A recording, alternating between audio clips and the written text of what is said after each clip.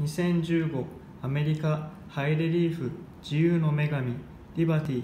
100ドル金貨 PCGS MS70FS クリーブランドダブルサイン最高鑑定鑑定枚数13枚。表側このデザインは現代の自由に対する芸術家の解釈を描いており立っていて派手飾られ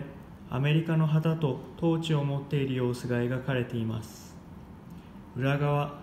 このデザインはアメリカのワシが飛行中に上昇する様子と鉤爪で枝をつかむ様子を描いています。米国造幣局は著名な彫刻家オーガストス・セント・ゴーデンズのウルトラハイレリーフダブルイーグル金貨の当初のビジョンを2009年のウルトラハイレリーフダブルイーグル金貨の発売で実現し古典的なアメリカのコインデザインの時代を終わらせ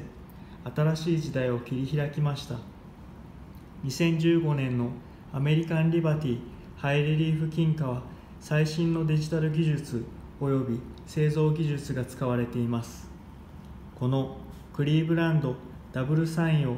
他社は販売していません。本日の金の価格は1607ドルです。さらに金の価格がここ数ヶ月上がり続けています。ただし当店の販売価格はたったの27万円です。この価格は日本最安値です。この機会を逃さないでください。